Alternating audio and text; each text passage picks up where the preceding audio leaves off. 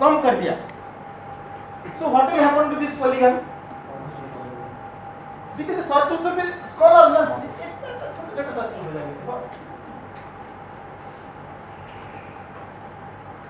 same principle we apply so that means this will become is depending on how much you are making the angle how much less you are making it may be still smaller smaller smaller depending on this reduction how much friction you are reducing from the fault plane you know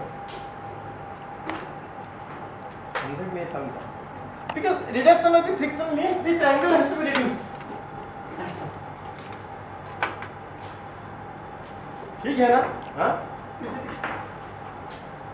the point is from this place to this place you told it is a homogeneous rock it is a fractured rock what is this rock how friction will be reduced you are understanding my point na see if whenever I understood here the circles are bigger so bigger polygon here circles are smaller so reduced polygon now here the polygon is further reduced by re removing the friction so what is the rock कैसे हाँ हाँ bed rock wet rock friction कम होगा ना अब सूखा में कैसे चल के चले जाओगे थोड़ा पानी डाल दो अब जा ही नहीं सकते।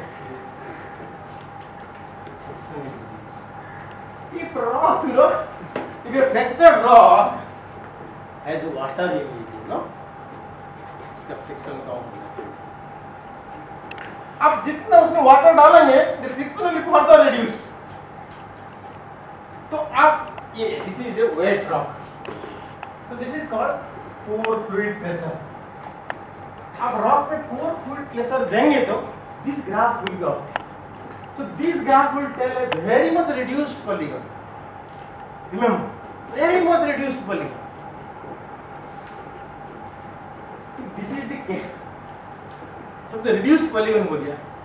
All these fields, you know, will merge. You see, there are limitations. You see, when this polygon was so big, you know.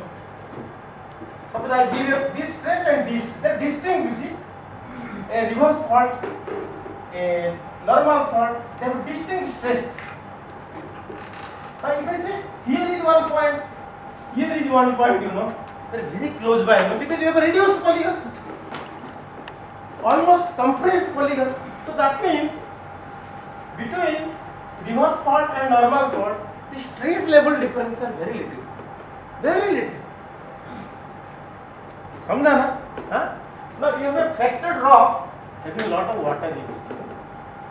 So, when the, they will be reactivated, you know, it can be reactivated as a normal fault, it can be reactivated as a reverse fault, it can be reactivated as a strike slip. Because you are dealing with a very much small polygon. The stress levels are, the difference is very little. But if it is a dry rock, and it is a absolutely fresh rock, you know, homogeneous rock, either it will develop strike slip, or it will develop reverse slip, or it will slip.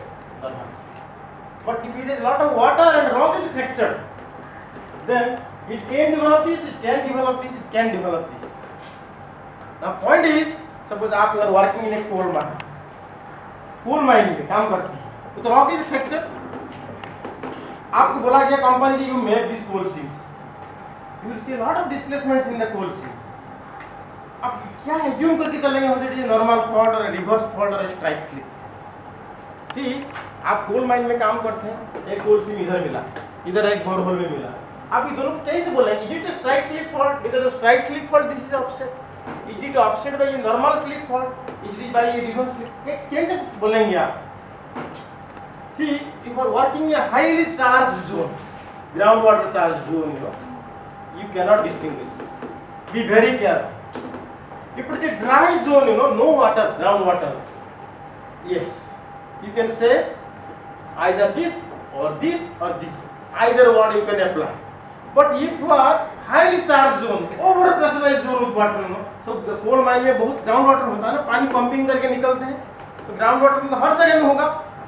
You can not say it would be normal slip it would be reverse slip it would be strike slip because this stress levels are very limited you know तो इसलिए आप जब भी similar same thing also petroleum exploration petrol में explosion जब करते हैं जहाँ इससे too much enrich with petroleum you know लेकिन पोर फ्लूइड प्रेशर बहुत है उसमें वहाँ मतलब faults or reverse slip faults or normal you cannot distinguish it can be anything but if it is a dry zone you know then the polygon becomes larger and you can distinguish you don't understand these parts huh that means from this place to this place to this place rock is gradually becoming weaker and weaker see rock is becoming this is the strongest rock fresh rock this is still weaker rock this is the weakest rock, you know. So any fault can be. Same stress, same sigma 1, sigma 2, sigma 3, but you can develop any, any type of fault. It can be normal, it can be reverse, it can be strikes. But if it is a dry rock and a non-fractured rock, either it will develop this or it will develop this or it will develop this. So they are distinct. You don't understand this part, I'm not telling you. Sure, na? So this is a very wide application. I have given you a Jobak paper. If you time, just go through it. He is the pioneer, you know, in this type of work, institute stress analysis. So next class, I will give you some something about borehole borehole imaging and interface, borehole interface. ठीक है? है? तो सम समझ गया? कल आप लोग मोदी का भाषण सुना? हाँ? सुना?